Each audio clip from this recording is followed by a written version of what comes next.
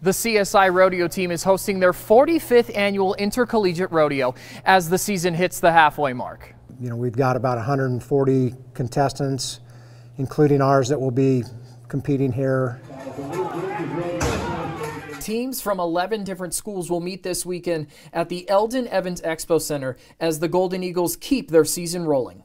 You know, the ultimate goal is to win a regional championship and qualify to go to the college national finals in June. Coach Birnie hopes this weekend will have a great turnout and says he appreciates the Magic Valley. We have great support throughout the community. Uh, you know, they help us do what we we do and the, you know help us raise money so we can pay for scholarships and travel. All of this from a program that has produced some of the best rodeo world champions. World champion Cody Hancock, Cody Wright, Blue Stone is a world champion.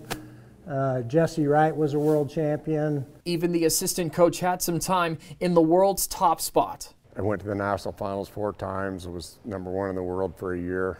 Coach Kelly Wardell now gets to continue his legacy coaching CSI Rodeo and is excited to see the return of fans in the stands. You know, we didn't get to have a crowd at our rodeo last year, and the year before we were sold out, standing room only, and I'm super excited because it's one of the, definitely one of the better college rodeos in our region, and it's always exciting to see a good crowd and see them cheer on the hometown team. With the excitement for the return of fans, Coach Birnie says he's also most excited to see his students' time and commitment pay off.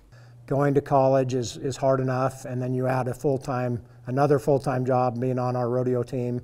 Uh, so I'm extremely proud of our kids and all the work that they do. For more information on pricing and where to buy tickets, head to our website, idahonews6.com. Isaiah Sharp, Idaho News 6.